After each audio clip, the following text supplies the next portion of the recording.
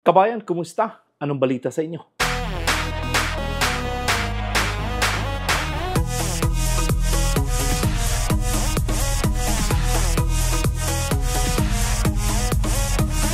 Sa mga job seekers na naghanap ng mga trabaho opportunity dito sa Canada, sana po ay mapanood ninyo buo ito ating video dahil 50 katrabador ang kinakailangan at ito po ay nasa Quebec. Ito po ay walang placement fee, walang sinasabing age limit, subalit sinasabi sa inyo, sana po panoorin nyo buo. Subalit guys, itong ang uh, pagka-qualify sa mga trabaho dito sa Canada, importante na kayo ay uh, may mga sapat na qualification, kayo ay may mga sapat na experience dito nga sa pag-apply dahil upang kayo ay matanggap ng mga trabaho dito nga sa agency. No? Itong agency na to ay nasa Pilipinas lang at uh, talagang napakaraming trabador. Ito po ay legit na agency. Meron po silang listahan. Nasa POA po to, registered po ito. Wala po kayong babayaran dito. Okay? So, but again, sinasabi ko sa inyo na dito sa Canada ay pinagbawal ang mga placement fee. Wala po kayo dapat uh, bayaran. No? kasi ang mga employer ay nagbayad na ng mga uh, sa agency. No? Kaya wala na kayong uh, uh, ibibigay na pera dyan. Siguro ang mababayaran nyo, mga 50 to 70,000 siguro ang gastos dito, pero hindi ako sigurado. Uh, but again, kung kayo man ay may mga um, passport, again, in BI o ano-ano pa dyan. So, kung wala man kayo, ay yan ang mag-add up na na bayarin. No? So again, sabi sa inyo na sana po ay makatulong to sa inyo dahil napakagandang opportunity sa may mga sapat na qualification at sa mga naghahanap ng ibang trabaho, kung hindi man to para sa inyo, meron tayong mga trabaho na pwede nyo applyan. No? Marami tayong mga job hiring dito sa job bank or sa Indeed. Subukan nyo lang puntahan. Meron sa Saskatchewan Jobs, meron sa uh, British Columbia jobs, sa Ontario jobs, subukan nyo lang. Marami pong pwede ninyong puntahan kung kayo man ay hindi ma-qualify sa trabaho. Subalit, pwede kayo mag-cross country sa Canada. Yung ating mga kabayan dyan sa Middle East, pwede kayo mag-apply dito sa Canada. Apply kayo online. No? Importante po yan, mag-apply kayo online dahil ngayon, puro online na. Okay? Ang interview dito, pwede kayo mag-Zoom. Zoom meeting na lang para sa inyong interview. Subalit, paano ba tayo makakwalify dito? Importante na kayo ay magbasa upang kayo ay malaman ninyo kung kayo ba ay qualify dito. And again, kung sa tingin niyo kayo may mga sapat na qualification, sa tingin niyo yung mga hinahanap nila ay meron ka, kopyahin mo ang kanilang mga pinagsusulat doon sa job description, ilagay mo sa resume. Ganun. Bilis lang. Tapos na. Okay? So, importante kasi na nagmamatch yung inyong uh, resume sa kanilang hinahanap dahil para magkaroon ng cross-matching na ang inyong mga resume at ang kanilang hinahanap upang kayo ay matawagan. So, ang iba naman na nag apply ng mga trabaho dito, kaya kayo hindi natatanggap kahit gaano karami, kahit gaano kaganda ang inyong mga experience, subalit hindi nga detalyado. Dapat detalyado ang inyong pagsulat ng inyong resume. Okay? Napakalaking bagay na kayo ay magsulat ng ano ang ginagawa nyo sa mga trabaho ninyo. Okay? So again, itong ating uh, pupuntahan na website, ito nga ang uh, uh, First Dynamic, ano? Dahil itong ang First Dynamic ay uh, sila ay nag-hire at ito po ay talagang napakarami silang mga pinarating na mga Pilipino dito sa Canada dahil uh, ang kanilang mga hiring ay dun nga lang sa Quebec. Sana ay may magawi dito sa Calgary at uh, ating ma-interview. Ano? Napakasaya natin kung ma-interview natin sila kung ano ba yung journey nila sa kanilang pag-apply dito sa Canada. Okay? Halika guys, tingnan natin yung kanilang posting.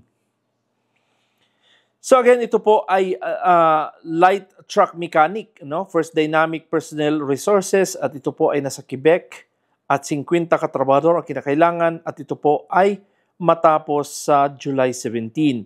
Again guys, ito pong kanilang, puntahan nyo lang sa description box dahil ilalagay ko yung kanilang, uh, kung makakuha ko ng email nila, address nila, phone number, para at least meron kayong gabay kung paano kayo makarating doon or ma-research nyo na lang ang First Dynamic Personal Resources Incorporated at lalabas naman sa website yan, okay? So mag-apply na lang kayo doon sa kanilang website.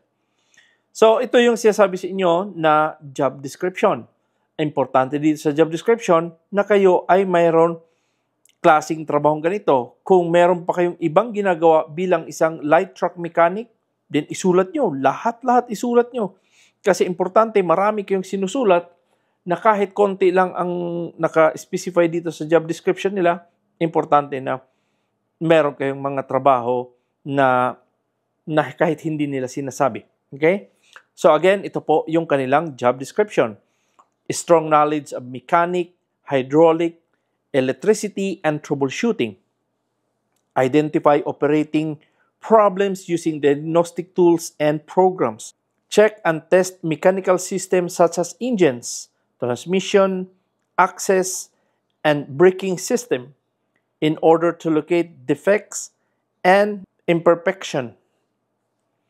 So, kung ano pang mga ginagawa nyo sa pagiging mekaniko, Isulat nyo. Kung meron kayong experience sa pag-welding, isulat nyo. Meron kayong experience sa pag-welding dahil importante po yan na naglalagay kayo kung meron kayong kaalaman sa pag-welding. Okay? So, basic welding lang. Isulat nyo. Basic welding. Uh, anong mga rod ang ginagamit nyo. Sulat nyo dyan. Okay? So, kung ano pang mga ginagawa nyo bilang isang mekaniko, kayo ay nag-overhaul ng mga mga uh, engine, sulat nyo. Nag-overhaul kayo ng mga engine. Ano bang klasing uh, truck ang ginaga, ginagawa nyo. Okay? So, lagyan nyo ng brand. Kung Honda, Toyota, o Hyundai, o ano man, isulat nyo lahat. Okay? Importante po na detalyado yung inyong uh, pagsusulat sa inyong resume. So, ito yung qualification. Maximum of 5 years work experience is required. And again, sinasabi ko sa inyo, kung wala kayong 5 years work experience, talagang mahirapan kayo dito. And again, ito po, ang candidate must be bachelor's degree college degree, or other similar field. Kung kayo man ay mga vocational siguro dito, kayo man ay may mga uh, in situ, no? Subukan niyo lang kung may, kayo man ay may mga 5 years plus experience, subukan niyo, no? Uh, dahil hindi naman in-specify masyado. So, similar fields lang. So, kung meron kayong vocational na mekaniko, tapos meron kayong in situ, subukan nyo lang, no? Have a good English communication skills and present yourself professionally. Okay? So again, pwede niyo i-send ang inyong resume at uh, pwede kayong uh, magpunta doon o pwede, kayong mag-apply online. Okay? So additional information, adjust, repair, and replace using manual tools and other special equipment, effective parts and elements of various vehicle system. So again, itong mga various vehicle system, kayo na lang bahala dyan kung ano pang mga ginagawa nyo. Okay? ano man ang mga nire-repair nyo, ano nire-replace nyo, nag-replace kayo ng mga ball bearing or ano-ano pa, sulat nyo anong mga ginagawa nyo. So again, ito po ay walang placement fee. So subukan natin tong um, puntahan sa kanilang website at ilalagay ko sa description box. So napakalaking bagay na kayo nga ay mag-apply ng ayon sa inyong experience dahil um, dito kasi sa sa Canada, kahit na sinasabi nga nila na walang work experience required, well-trained, pero importante pa din na meron kayong experience dahil itong mga employer to, sa dami na nag apply ng mga trabaho sa Canada, ang daming choices na pwede nilang i-pick. So, kaya nga sasabi sa inyo lagi na huwag ninyong bigyan ng rason ang employer na ang iba ang kanilang kunin. Importante na mag-apply kayo. Kung may experience kayo, sulat nyo, magsulat kayo kahit anong trabaho na inyong ina-apply sa Canada, isulat nyo lahat ng ginagawa nyo. Kung kayo man ay mga housekeeping, mga cleaner, welder, mekaniko, production worker, sulat nyo lahat ang inyong mga ginagawa. Dahil napakalaking bagay po yan. No? Ini-ignore nyo lang, pero malaking bagay po yan. Kaya nga sinasabi ko sa inyo na itong pagbablog ko ay base sa aking experience kung paano ako mag-apply dito nga sa mga trabaho sa Canada.